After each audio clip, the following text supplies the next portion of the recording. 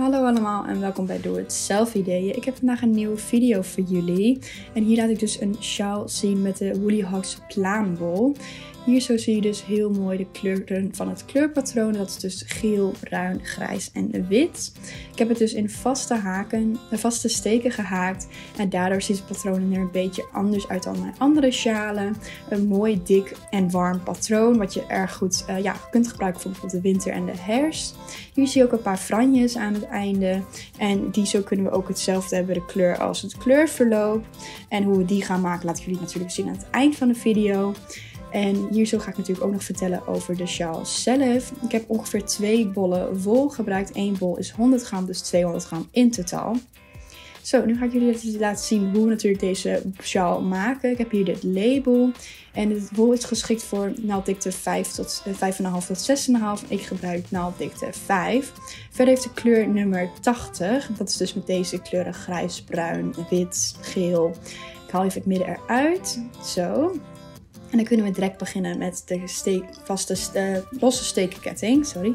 En beginnen we hier met het kleurverloop. Waar beginnen we op? We beginnen met zes afgedeeltes met kleuren. En die gaan we eerst even mooi haken met een losse steken, zodat we even het patroon leren kennen als het ware. Dan beginnen we dus hier zo bij wit, met de, ja, de grens van wit en geel. En dan ga ik dus gewoon simpelweg eventjes dit hele kleurverloop afhaken. Hier begin ik dus met wit. Dan ga ik over naar grijs. Dan komt hier bruin. En die wordt dan weer afgewisseld. Die zit eigenlijk tussen twee kleuren grijs in. En hetzelfde geldt voor geel. Die zit tussen twee gele eh, kleuren wit. Hier heb ik dus weer grijs.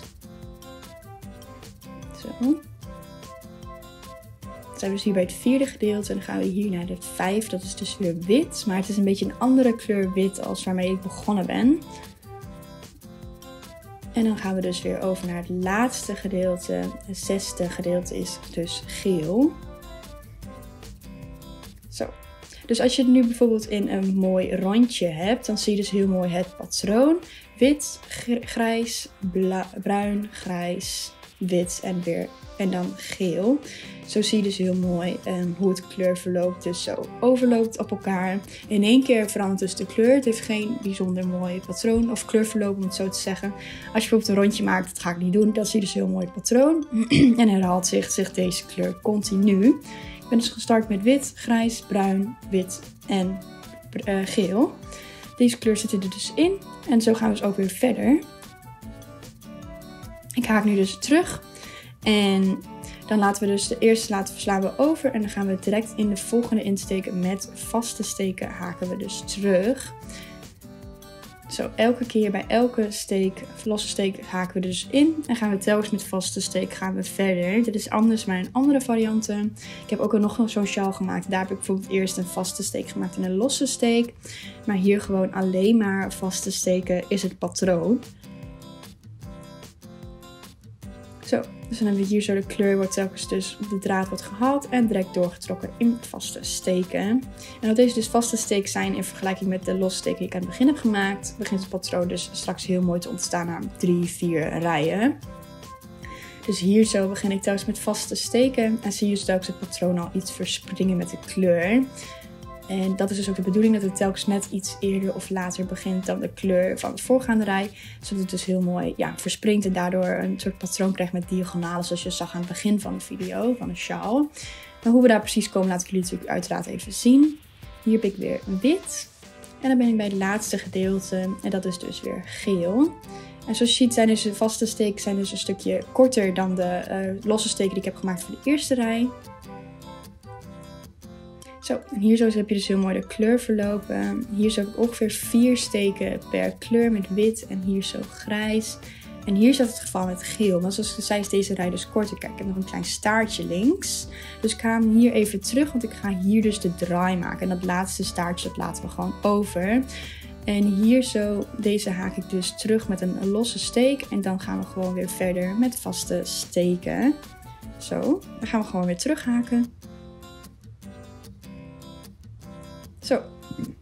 Dit is dan de tweede rij. Hier kun je nog helemaal niet heel goed het patroon zien na twee rijen. Maar dat ga ik dus even laten zien in de derde rij. Dan kun je het heel mooi zo ontstaan. Dan, haal ik weer de, dan neem ik weer de uh, haakrichting van de eerste rij over. Hier zo heb ik dus de kleurverloop die vindt plaats. Dus draai ik de bol om. Zo, en dan heb je hier zo, begint dus deze, als twee rijen naar onder gaan, begint ook net daar het wit, die eindigt daar. Dus dan grijs hier zo. En dan zie je dus heel mooi hoe het zich dan verwisselt, de kleuren. Zo, precies om één uh, steek dus. Zo, hier zie je weer precies hetzelfde. Grijs, wit, bruin. Allemaal met één steek erboven in de drie rijen. Zo. En dan precies wanneer, ik dan weer een, wanneer het weer een beetje eerder eindigt, wanneer we nog één steek over hebben, verwisselt het naar grijs. Zo. En dan wanneer grijs, wanneer bruin dus weer over is, gaat hij alweer voordat hij weer op grijs komt, komen we weer bij wit. En hetzelfde geldt bij geel. Zo, hier zo zie je al een mooi patroon hoe het zich telkens zo verspringt. En hoe je dat zo aanhoudt, dan ontstaat de sjaal dus met een mooi diagonaal patroon met de kleuren. zo, dan draaien we dus de bol even om en gaan we verder met de volgende rij. Dus dat is de vierde. Dan hebben we dus het volgende hetzelfde e- eh, effect, alleen dan op de andere kant. Hier heb ik dus grijs. Zo. En dan heb ik dus ook heel mooi zo, dan draait de stof heel iets mee. Maar hier zo mooi naar rechts verschoven de kleuren met de steken.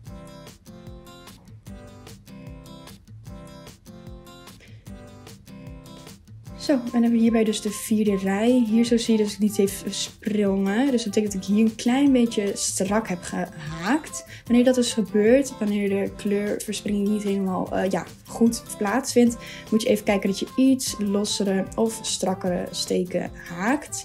Bij mij moet het een beetje losser. En dan heb ik hier zo de kleurverschil, dat heb ik dan weer netjes passend. En dan begint het dus gewoon netjes naar geel, wanneer het zou moeten start beginnen. Dus let gewoon even goed op de laatste rij die je daarvoor hebt gehaakt. Dit ga ik even verder haken en laat jullie het resultaat even zien. Zo, daar zijn we dan verder gekomen met een aantal rijen. En hier zie je dus heel goed, en bij geel en bruin zie je natuurlijk super goed de patronen. Deze gaan heel mooi diagonaal en kruisen elkaar op een gegeven moment ook. Grijs gaat hier omhoog, geel gaat hier omhoog en hier ook. En dat gaat dan hier zo op een gegeven moment in de toekomst zichzelf kruisen. Zoals dus bij wit dus het geval is. Bruin gaan juist uit elkaar. En die gaan dus helemaal uit elkaar en dan op een gegeven moment gaan ze weer naar elkaar toe vanuit de zijkanten. Zo ziet het er super leuk uit met deze van ja, ruitjespatroon, diagonaalpatroon. Het is erg mooi vast ehm. En ook optisch ziet het er erg leuk uit. Ook ziet het er een beetje uit elkaar ja, onderbroken is, ziet het natuurlijk wel heel mooi uit met de rijen. Ik ga even verder haken en jullie het eindresultaat laten zien met de sjaal. Zo, ik heb zo hier deze hele bol wol gehaakt. Je kunt nu het patroon heel goed zien. Ik ga natuurlijk nog een bol wol eraan haken voor een, voor een extra dikke sjaal. Hier heb ik dus nog het voorbeeld waar ik het net over had. Het andere, de andere variant die ik in de andere techniek heb gehaakt. Dus hier zo weer dezelfde kleurplan. Uh, maar hier heb ik dus telkens een vaste steek en een losse steek gehaakt. En daardoor zie je dus hier zo dat ze mooi tegenover elkaar liggen, de kleuren. Een heel ander patroon iets grover gehaakt, ook zoals je ziet. Dus je kunt heel mooi het verschil zien tussen de verschillende patronen en wat voor effect dat heeft op het kleur. Hier zie je dat de kleuren driehoekjes, de hoekjes ietsje kleiner zijn, iets fijner. En hier zijn het meer ja, puntjes of zo, om het zo te zeggen. Dus een heel ander patroon. Ik vind eigenlijk beide alle twee heel leuk. Deze is iets losser en deze is iets strakker. Dus iets fijner gehaakt. En ja, zo zie je het verschil. En ik ga nu kleurverloop maken zoals je ziet. Ik heb nog maar een heel klein beetje over. En nu moet je natuurlijk ook zorgen dat de planning van de volgende bolwol precies past op de planning van deze bolwol. Dus dan gaan we even kijken hoe dat zit. Dus ik heb daarvoor de volgende kleur die ik nodig heb is bruin. Ehm, maar nu heb ik dus een beetje het probleem dat ik hier zo een klein beetje grijs maar over heb. En hier heb ik dus bruin. Dan heb ik dus grijs, wit en je hebt dus eigenlijk, ja, even kijken om het precies om te passen. Hier heb ik dus hier dat bruine wat ik nodig heb, maar dat is wel heel kort. Dus dat is niet zo heel handig. Ehm, dus ik ga even deze hele kleur overslaan, dit hele patroon. En dan ga ik hier beginnen bij grijs en bruin. Zodat ik het grijs een beetje aan elkaar kan knopen. Dat het mooi direct overgaat naar bruin waar het hoort. Zo, dan verschuift zich helemaal niks en kun je dus niet zien dat het een tweede bol wol is. Dus van grijs gaat het mooi, waar het precies waar het moet, over naar bruin, weer grijs en dan weer wit en dan geel en dan weer helemaal naar de bol wol. Dus dat ga ik even verder haken met de hele bol wol. Deze draad kun ik direct een beetje afknippen, zodat we die niet helemaal over hebben. Zo. En dan hebben we dus het eindstuk hebben we straks nog mooi vernaaid. En het tussenstuk dit stukje dus. Ik ga even verder haken en dan zie ik jullie straks weer bij de hele sjaal. Zo, daar zijn we dan met het gehele eindresultaat. Ik heb een heel stuk verder gehaakt. Dit is nog wat enige wat over heb van de twee bollen wol. En dat worden dus de franjes aan het einde. Hier zie je nogmaals het kleurverschil met het mooie patroon. Met de lijnen die naar de zijkant lopen en dan weer draaien en terugkomen om elkaar te kruisen. Geel, grijs, bruin, wit, alle kleuren hebben hetzelfde patroon. En die gaan mooi, die lopen mooi door elkaar heen. En met de andere kant heeft precies hetzelfde idee. In totaal is het 160 centimeter aan sjaal. Lekker warm om dus meerdere keren om je hals te dragen. En ik ben hier zo bij het einde aangekomen. Die kan ik zo even knippen. En dan kan ik deze dus eruit trekken. En heb ik hier zo mooi het einddraad. En die kan ik zo even vernaaien. En franjes maak ik dus hier zo aan het kleurverloop aanpassen. Die komen dus aan beide kanten, bij de uiteindes. Hier komen witte, hier komen grijze. En dan uh, heb je gele aan het gele gedeelte. Dus zo maak je ze telkens mooi bij de kleur passend. En dat doen we dus hier zo aan het begin. Hebben we dus hier nog het staartje waar ik het over had. Deze kunnen we mooi even afknippen. En die moet je dan helemaal uit elkaar halen. Want dit is dus eigenlijk gewoon de begindraad, om het zo te zeggen. Uh, dit is de, uh, ja, de losse ket, steekketting was dus langer dan de sjaal, de breedte van de sjaal die ik graag wilde hebben. En het is best wel lastig kort trekken, uh, uit te trekken met het ja, losse steken los te halen. wat je natuurlijk ook kan doen is dan even dat dingetje afknippen, zo. dan heb ik nog wel een heel klein stukje om eventjes zo uit elkaar te halen.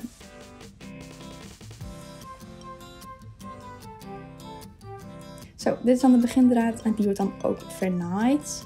En hier kun je dan ook nog een, uh, ja, hier heb ik dus het begindraad. En dan heb ik daar aan het einde nog een einddraad. En het midden natuurlijk nog. Die worden allemaal vernaaid. En dan ga ik nog even verder met de franjes. Zo, de sjaal heb ik dus helemaal klaar. Nu heb ik dus ook alvast vernaaid de sjaal. Dus nu ga ik eventjes de franjes knippen. En die krijgen precies een lengte van het kleurverloop. Zo, dus precies op de grens tussen de kleuren eh, knip ik hem los. Zo, dus nu heb ik allemaal verschillende franjes. Ik heb dus vier stapels met uh, ja, bruin, geel, grijs en wit. En wat ik dus vervolgens doe, ik begin dus hier zo met geel. Dus daar maak ik ook gele franjes. Dan zorg ik dat ik eventjes hier zo doorheen trek. De bandjes, de franjes. Zo. Heb ik dus hier zo mooi de lengte. En dan ga ik dus even alles er zo doorheen trekken.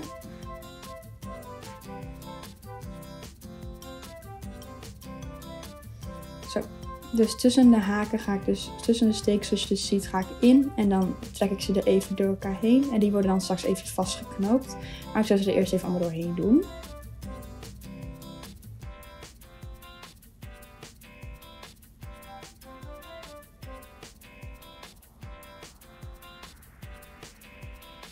En heb ik hier zo alle flanjes heb ik mooi uh, gemaakt aan elke steek die over was aan het einde. En hier zo zie je dus heel mooi dat ik eventjes mooi even lang maken. En dan komt hij dus straks vastgeknoopt. En dat doen we dus als volgt. Dat doen we gewoon heel simpel met een knoopje. Zorg dat ze even lang zijn, dat je de uiteindes mooi even recht hebt. En dit heb ik dus met één gedeelte al gedaan. Ik heb er dubbele knoopjes in gemaakt. En de tweede rij moet dan natuurlijk ook nog zo aan het einde. Of het begin, het is net hoe je het bekijkt. Maar aan het begin en het einde komt dus mooi de franjes. Dan maak ik dus hier zo mooi met dezelfde kleur als het uiteinde. En aansluitend maak ik dan nog de knoopjes vast. Zo, de franjes zijn dus helemaal klaar. En doordat de draden ook al vernaaid zijn aan het begin en het einde, is de sjaal helemaal af. Hoop dat jullie deze video leuk vonden. Zo ja, dan een blauw duimpje omhoog achter. Wil je nou weten hoe je andere dingen breidt en haakt? Neem dan een kijkje op mijn kanaal en abonneer gratis om altijd te blijven van nieuwe video's. Dan wens ik je veel plezier bij het haken van deze video. En dan zie ik je de volgende keer bij Doe Het Zelf Ideeën. Tot dan!